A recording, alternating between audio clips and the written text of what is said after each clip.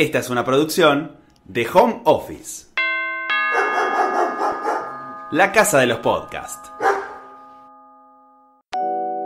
Esto nos va a llevar de tiempo, mm, lo mismo que tardás en darle la vuelta al perro. Así que agarrá los auriculares y la bolsita, obvio, que ya empieza el primer episodio de este podcast donde vamos a hablar de creatividad. Desde cómo se aplica al mundo publicitario, la vamos a entrenar con diferentes ejercicios y, por qué no, también haremos un poco de catarsis. Mi nombre es Florencia Potter y les doy la bienvenida al Club de la Creatividad.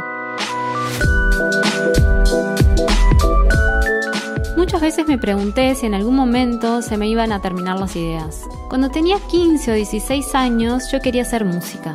Me encantaban las cantautoras y soñaban con tocar en un barcito con mi guitarra acústica, mi voz y ya, ganarme la vida con eso. Realmente tenía miedo que en algún momento las ideas se me terminen o que no encuentre la famosa inspiración para hacer canciones. Bueno, menos mal que descubrí la publicidad creativa.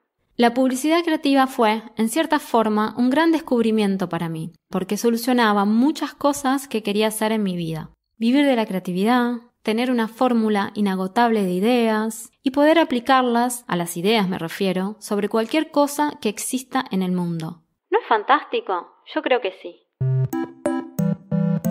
De todas formas, siempre hay una contracara. Por ejemplo, en mi caso, muchas veces me pasa que me enamoro muy rápido de las cosas que me traen soluciones, para algo que pensaba imposible y creo que todo es diversión y un mundo hermoso, algo así como una escena de una película de Wes Anderson. Pero, cuando menos te das cuenta, te volvés esclavo de tus propias ideas y peor aún, muchas veces cuesta soltarlas. Ahora, cuando se te ocurre la idea, te decís a vos misma, qué capa que soy, mirá de quién te burlaste. Inserta acá el nombre de tu jefe, tu jefa o la persona que desestimó tu creatividad. Volviendo al principio de este episodio, dije que tenía 15 o 16 años cuando soñaba vivir de cantar en barcitos. Bueno, claramente no sucedió. Pero lo que sí pasó es que aprendí a tocar no solo la guitarra acústica, sino también la eléctrica, algo de batería, el violín y el cello. Fui a varias clases de canto por muchos años y hace poco también a un coro popular. Y vos dirás, ¿qué tiene que ver esto con la creatividad? Básicamente que la creatividad tiene muchas formas y no se limita solamente a una disciplina en particular. Podemos ser creativos de muchas maneras. A esta altura, seguro que tu amigo cuatro patas ya hizo lo que tenía que hacer. Así que sigamos caminando un poco más mientras avanzamos en esta primera entrega del Club de la Creatividad. ¿De dónde sale la creatividad? Mm, a ver, vamos a googlearlo. A ver, ¿de dónde sale la creatividad? ¡Wow! En menos de un segundo nos aparecieron cerca de 20 millones de resultados. Es un montón, así que vamos a quedarnos con una parte solamente. La creatividad surge cuando acumulamos una fuerte base de conocimientos e investigaciones, a partir de la cual nuestro cerebro es capaz de construir nuevas ideas. Las grandes ideas aparecen de repente, pero nunca de cerebros vacíos o poco estimulados. Eso me gustó. Y acá hay otra definición interesante. Combinar bloques de información que ya existen en el mundo exterior, pero de forma diferente, es ser creativo. Ser creativo no es la aparición de una idea de la nada, es la combinación novedosa de muchas ideas y conocimientos almacenados en nuestro cerebro. Leyendo esto me hace pensar que la ciencia, la cocina, las matemáticas, las artes y muchas otras disciplinas dependen de nuestra creatividad para lograr soluciones ante alguna adversidad. Podríamos decir entonces que la creatividad nace por la mezcla de dos cosas. Por un lado, nuestras experiencias de vida y por el otro, las soluciones que tenemos que ir encontrando para transitarlo. Ya sea porque nos los pide un cliente o porque tenemos hambre y tenemos que cocinar. De hecho, otra variante que dispara la creatividad es cuando nos dan alguna referencia para resolver algo.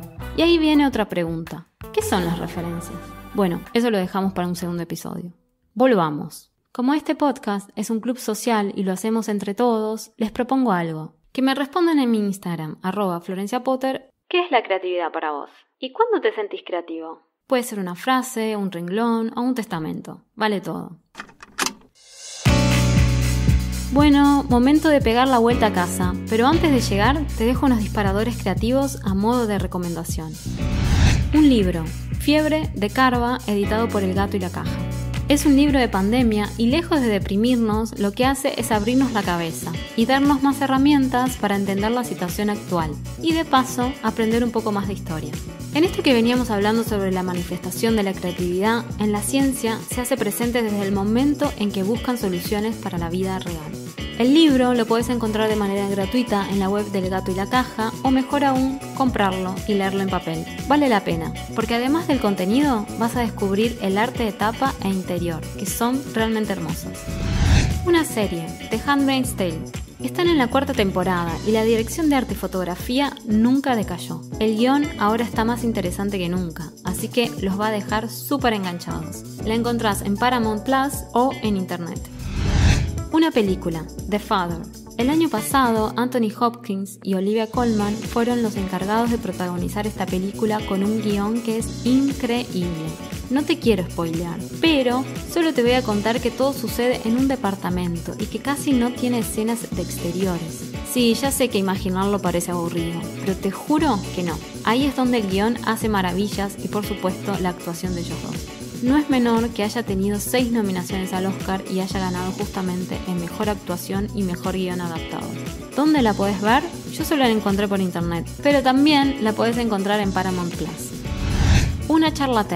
Art in the Age of Machine Intelligence. ¿Puede la inteligencia artificial tener sus propios pensamientos? Y si es así, ¿cómo serían? Esta charla que combina artes visuales, mapping inteligencia artificial nos muestra que la matemática, los algoritmos y las artes están todas conectadas. Te dejo el link de YouTube en la descripción del episodio. Dura 12 minutos y tiene todos los subtítulos en español. Una playlist, los 80 que me gustaría ir a bailar. Estoy muy fan de los años 80 y hace como dos meses estoy alimentando esta lista en Spotify con canciones que escucho por ahí y me hacen sentir bien. No sé si tiene creatividad esta recomendación, pero a mí me da un subidón, así que quien quiera, más que invitados a seguirla y escucharla. La buscan como los 80 que quiero bailar cuando estoy de mal humor.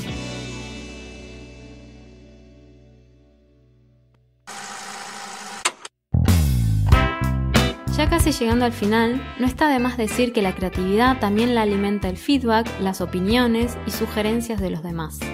Así que ya sabes, lo que me quieras compartir, ya sea un comentario, una recomendación o lo que consideres que está bueno, lo puedes hacer a través de mi cuenta de Instagram, arroba Florencia Potter, o en las redes de Home Office Podcast.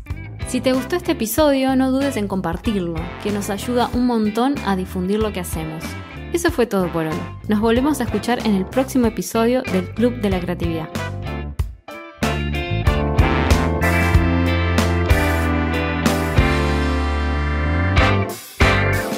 Esta fue una producción de Home Office. Encontranos en Instagram como Home Office Podcast.